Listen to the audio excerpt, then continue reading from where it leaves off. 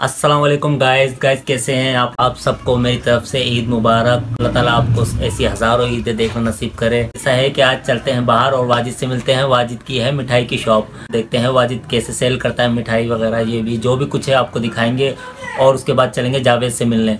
नमाज़ भी पढ़नी है। नमाज़ के लिए लेट हो रहे हैं तो चलते हैं नमाज़ पढ़ने और फिर मिलते हैं नमाज़ के बाद. गाइस हम नमाज़ पढ़कर घर आ चुके हैं और ये घर पे खीर रेडी है। वाह भाई वाह सुभान अल्लाह चलो भाई फिर खीर को खाते हैं और दिखाते हैं आपको। चले भाई ये लो में हमारी खीर आ गई है। और इसको खाते हैं और बताते हैं कैसा टेस्ट है। मज़ेदार।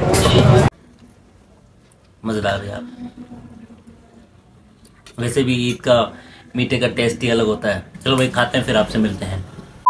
गाइस हम आपको मिलवाते हैं वाजिद से और देखो वाजिद मिठाई की शॉप काम कर रहा है तो वाजिद को नहीं बताएँगे डायरेक्ट वाजिद के ऊपर अटैक करते हैं। वाजिद देखे वहाँ पे दिखा ना वाजिद? वाजिद वो नज़र आ रहा वाजिद से मिलते हैं और आपको दिखाते हैं।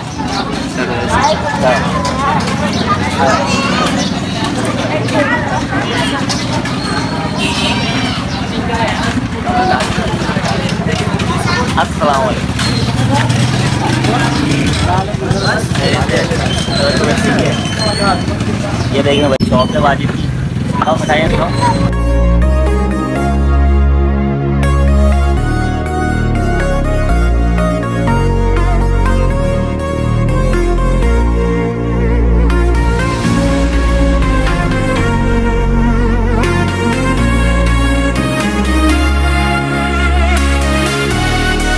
असल में हम बाहर गए थे, वाजिद के पास तो बहुत ज़्यादा रश है, उसको डिस्टर्ब नहीं कर सकते। तो यार, जावेद की कॉल आ रही है, जावेद से बात करते हैं क्या प्लान है, ठीक है?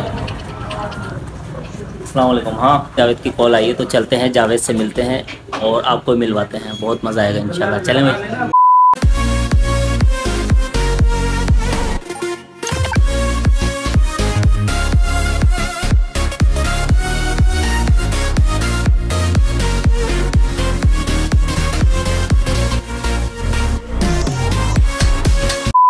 फाइनल जावेद के घर पहुँच गए हैं और जावेद को बुलाते हैं और दरवाज़ा बजाते हैं। जावेद? भाई जावेद आ गया जावेद से ही मिलते हैं। जावेद बाहर आओ। जावेद तो शर्मा ये दुआ और सुनाओ। सब ठीक है खैरियत है। आप से मिलो।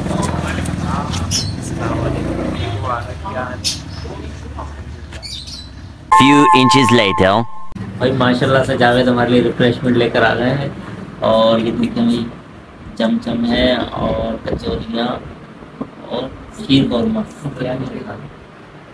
भाई थैंक यू जावेद साहब के फादर हैं। माशाल्लाह बहुत ज़बरदस्त। और ये गर्मा गर्म कचौरी जो कि अवतार में खूब खाई है। अभी भी अवतार की याद दिला दी आज जावेद तुमने। सही जावेद भाई दिल की गहराइयों से मुबारक। अल्लाह ताला आपको ऐसी बहुत सी ईदें देखना नसीब करे और आपको सेहत दे ज़िंदगी दे यार ये जल्दी से फिनिश करते हैं और फिर मिलते हैं। आपका क्या इरादा है? वाजिद के पास चलना है आपने? हाँ इंशाल्लाह शाम में चलेंगे। शाम में चलेंगे।